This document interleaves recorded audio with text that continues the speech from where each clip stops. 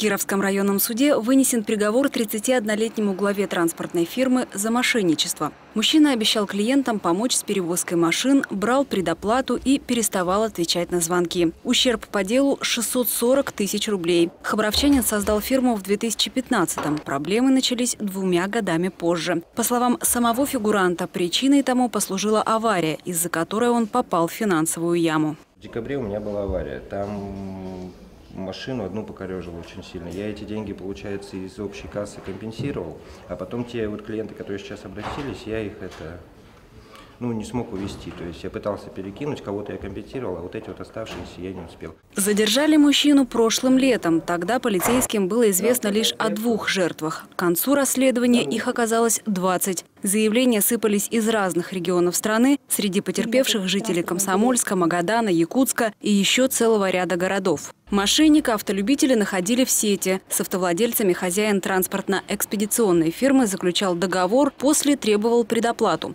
Потерпевшие переводили мужчине разные суммы – от 15 до 85 тысяч рублей. Больше всех потерял житель Благовещенска, которому нужно было доставить из Москвы купленную им «Тойоту Тундру». Во время обыска по месту проживания задержанного изъяты оргтехника, печати компании, договоры транспортной экспедиции и другая документация – качестве обеспечительной меры наложен арест на сотовые телефоны, бытовую технику, которые принадлежали злоумышленнику. Карта, на которую потерпевшие переводили деньги, принадлежала другу фигуранта. Клиентам директор говорил, что счет принадлежит его бухгалтеру. При общении с клиентами а, сообщал заведомо ложные а, сведения о том, что готов оказать услуги по перевозке автомобилей при условии внесения предоплаты а, в счет бронирования автовоза. А, но при этом не намеревался, не, э, свои услуги исполнять не намеревался, тем самым похищал денежные средства, которые были переведены а, на его счет потерпевшим.